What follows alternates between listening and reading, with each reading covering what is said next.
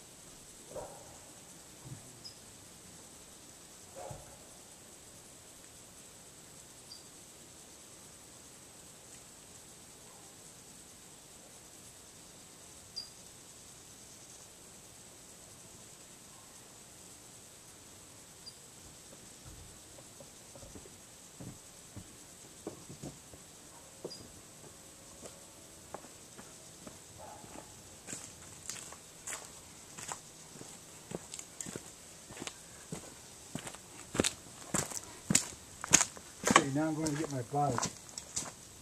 Neighbors gonna want me.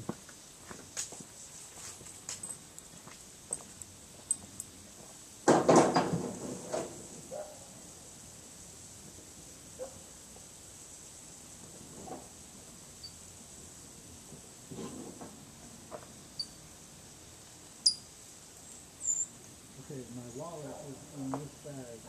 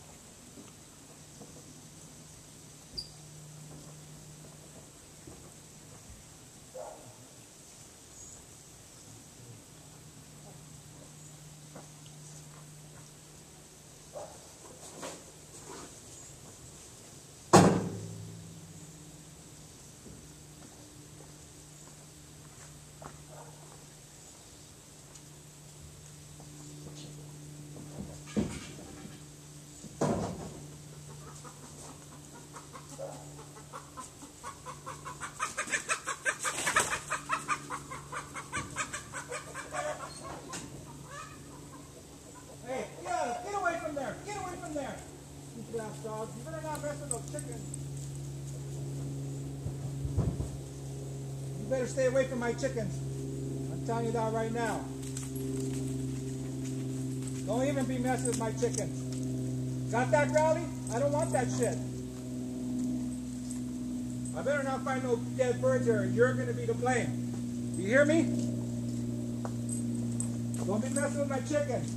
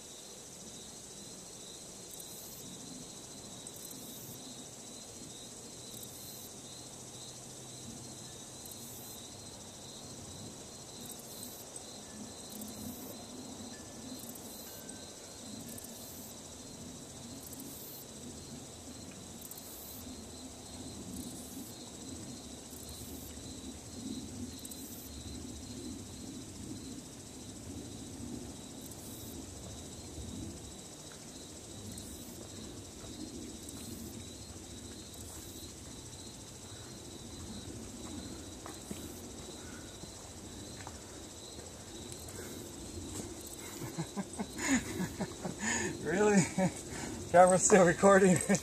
oh, that's too much. How long have we been gone? An hour and 16 minutes.